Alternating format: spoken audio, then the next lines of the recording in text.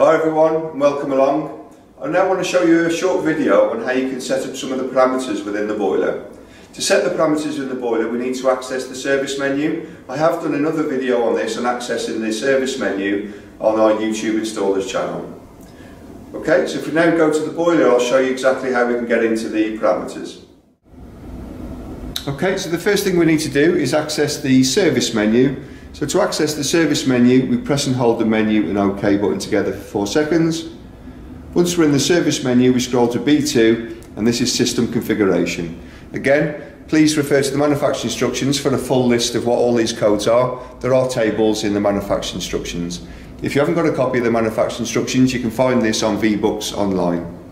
Okay, so I'm not going to show you every single parameter as we go through the video, I'd just like to show you a few, highlight a few as I go through. The first one I'm going to show you is number three.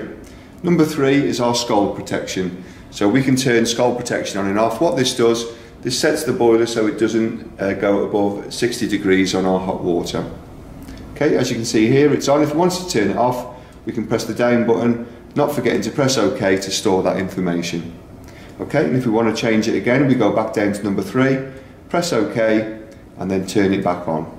Press OK and that stores the information. As you can see, it automatically goes to the next parameter. Okay, what I'd like to show you next is setting the boiler to its minimum and maximum output. If we look in the charts, that's numbers six and seven. So six is our minimum output. And you can see there the number seven, and that's 7%. So that's 7% of its maximum output. So we do need to know what the maximum output of this boiler is.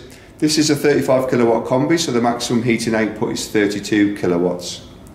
So if we go back and go to see, uh, go to number seven, press OK, this is now setting our maximum output. So at 100%, it would give us 32 kilowatts of heating. And just for easy maths, if I needed 16 kilowatts of heating, I'd hold the down arrow till I get to 50%, and that would then give us 16 kilowatts of heating maximum. So press OK, that's now stored into the boiler.